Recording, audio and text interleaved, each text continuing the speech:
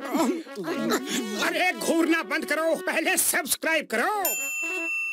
السلام علیکم دوستو، پاک ڈیفنس زون میں آپ کو دوبارہ خوش آمدید کہتا ہوں۔ آج کی ڈیفنس اپڈیٹ سب سے پہلے پاکستان ایئر فورس کی طرف سے ہے۔ پاکستان ایئر فورس والوں نے کہا ہے کہ J F seventeen block three کی فرسٹ فلائٹ چودہ اگست کو کی جائے گی۔ یہ پاکستان کی آزادی کا بھی دن ہوگا۔ انہوں نے کہا ہے کہ J F seventeen block three game changer بھی ہو سکتا ہے، کیونکہ بہت سے ملکوں کی ہمارے J F seventeen block three میں دلچسپی ہے۔ انہوں نے کہا ہے کہ J F seventeen block three میں نئے ویپنز موجود ہیں۔ اور انہوں نے یہ بھی کہا ہے کہ اس میں new engine W S thirteen بھی موجود ہوگا۔ J F seventeen block three کی سپیڈ دو ہزار کلو میٹر پر آور ہے۔ J F seventeen block three میں ایئر ریفلنگ پائپ بھی ہے اور اس میں اسپیکٹرا سسٹم بھی موجود ہے۔ اس میں رڈار بھی ہے۔ اس کا رڈار بہت ہائی لیول کا ہے۔ ٹارگٹ جتنا بھی دور ہوگا، رڈار دشمن کو بہت جلدی ڈیٹیکٹ کر کے مار گرا سکتا ہے۔ اس میں ایچ ایم ڈی بھی موجود ہے۔ ایچ ایم ڈی کا مطلب ہے ہیلمٹ ماؤنٹیڈ ڈسپلے جیسا کہ آپ اس تصویر میں دیکھ رہے ہیں، انہوں نے کہا ہے کہ اس کے انٹرنل فیول کو بھی انکریز کیا گیا ہے اور یہ زیادہ ویپنز کو کیری کر سکے گا۔ J F seventeen, block one اور بلاک ٹو کی نسبت۔ اور ہو سکتا ہے کہ یہ فیوچر میں پاکستان کے لیے گیم چینجر ثابت ہو۔ دوسری ڈیفنس اپڈیٹ باہر سے آئی ہے کہ انہوں نے ایک جہاز بنایا ہے گھوڑے کی شکل والا، جس کا نام تیجس رکھا ہے۔ اس کو تیس چالیس سالوں میں ابھی تک ایف او سی نہیں ملا۔ ایف او سی کا مطلب ہے فائنل آپریشن فار کلیئرنس یعنی کہ جہاز اب اڑنے کے لیے بھی تیار ہے۔ اور ساتھ جنگ کرنے کے لیے بھی تیار ہے۔ انہوں نے کہا ہے کہ رجا بھائی کو آئی او سی ملا ہے۔ اس کا مطلب ہے، اب یہ اڑنے کے لیے قابل ہے لیکن یہ کوئی فائٹ نہیں کر تیسری اپڈیٹ یہ ہے کہ عمران خان صاحب ترکی جا رہے ہیں۔ تین سے چار روز روزہ دورے پر عمران خان صاحب ترکی کے صدر طیب اردگان اور ان کے ساتھ اعلیٰ حکومتی عہدے داران سے ملاقات کریں گے۔ عمران خان صاحب کو ترکی کے فارن منسٹر نے پہلے مبارکباد دی اور پھر دعوت بھی دی تھی جب وہ پاکستان آئے ہوئے تھے۔ پاکستان اور ترکی کے ڈیفینس ڈیفنس ریلیشن بھی بہت مضبوط ہیں۔ عمران خان صاحب ترکی سے سیکورٹی کے معاملے پر بھی بات چیت کریں گے۔ جیسا کہ آپ جانتے ہیں، پاکستان اور ترکی ڈیفنس سیکٹر میں بھی بہت زیادہ ترقی کر چکے ہیں۔ پاکستان اور ترکی اب ایگریکلچر میں بھی ایک دوسرے کو سپورٹ کرنے والے ہیں۔ پاکستان اور ترکی ایک دوسرے کو بہت زیادہ کوپریٹ کریں گے۔ اس سے ان دونوں ملکوں کو بہت فائدہ ہوگا۔ تو دوستو، اب تک کے لیے اتنا ہی۔ اگر آپ کو میری ویڈیو پسند آئی ہو تو اسے لائک کر دیں اور شیئر کرنا نہ بھولیں اور سبسکرائب بھی کر دیں۔ ملتے ہیں ہیں نیکسٹ ویڈیو میں. خدا حافظ.